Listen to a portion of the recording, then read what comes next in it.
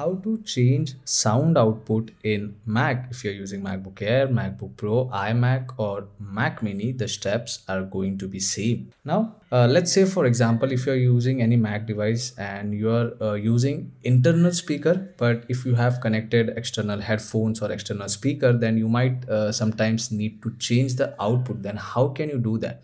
So if you have connected the external speaker or the headphones, now for changing the output, you need to go in system settings. And once you go in system settings, you need to go in sound, which you can find below notifications. Once you select sound, uh, on the right hand side, you get multiple options, but under output and input, you can choose the speaker as well as the microphone option. Now currently you can see as I'm speaking, the internal uh, microphone of macbook air is active and it is showing the input level over here so let's connect external headphone. Now i am using the 3.5 mm port and as soon as i connect the headphone you can see the output has changed to external headphones and the internal also has changed to external microphone. Earlier it was macbook air microphone.